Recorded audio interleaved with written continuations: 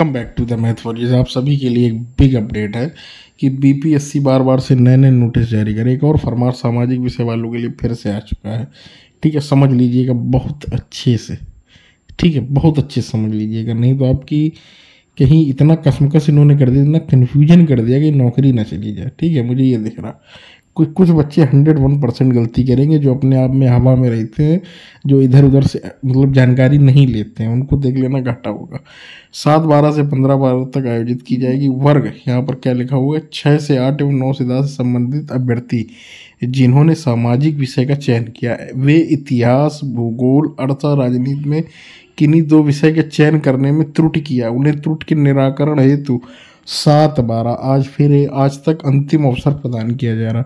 अगर admit card में कोई गड़बड़ी आपसे हो गई है, और कॉम्बिनेशन क्या रहेगा, वो भी आप समझ लो बहुत अच्छे से।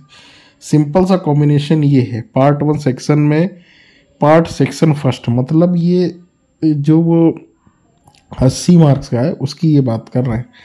ठीक है, इतिहास विषय का चयन किया गया है तो पार्ट सेकंड में आप लोगों को इनमें से कोई एक विषय का चयन करना, भूगोल, अर्थशास्त्र, राजनीति शास्त्र विषय में से किसी एक का चयन करेंगे। अर्थात अगर आपने सपोज़ दैट इतिहास चुनी है तो आप इन तीन में से कोई एक ले लें। ठीक है? तो आप ले सकते हैं राजनीति शास्त्र ठीक है, अर्थशास्त्र, भूगोल।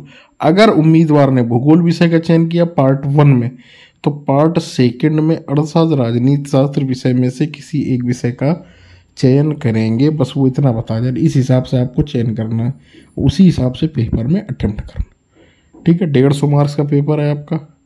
ठीक, तीस, चालीस, सत्तर। सत्तर के बाद, ठीक है सपोज़ दैट जो एडमिट कार्ड में अभी पहले हिस्ट्री लिखा है ना तो सत्तर के बाद इकहत्तर से एक सौ दस तक, वही क्वेश्चन होंगे हिस्ट्री के।